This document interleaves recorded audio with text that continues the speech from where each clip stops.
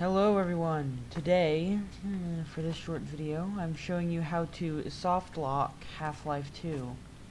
See that man over there? Yeah, you can kill him. Okay.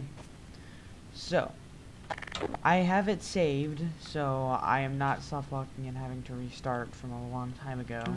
But what you want to do, there are two barrels here. You want to save both of them. Both of them. This one you have to put it right here for quick access to uh, destroying these barriers, and then just have this one. So, you have to.